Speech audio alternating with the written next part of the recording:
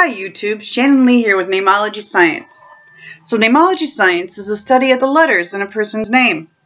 So your first name is the essence of who you are, your middle name is where you go to under stress, and your last name is your environment. I'm just doing a first name reading today, and when you add in the middle and the last name to this, it may change it up just a little bit. So this is just a generic first name reading. And today I am doing the name of Pamela, and I will spell that P-A-M-E-L-A. So Pamela, um, right off the bat, as I'm looking um, at your name here, the letters in your name, I see that you do like a mental challenge. I see that you are very fun and playful. I see, Pamela, when you work, you work really, really hard.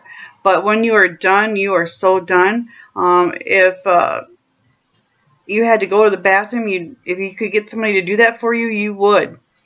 Um, it also says in your name um, Pamela, that um,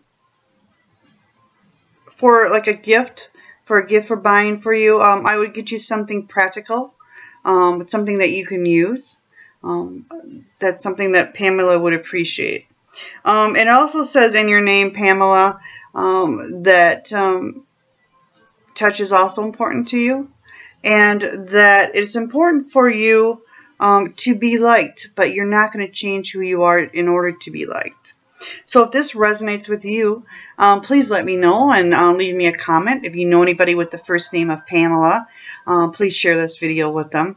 And thank you so much for all the views I've gotten on here. And I really am humbled and I do appreciate that so, so much.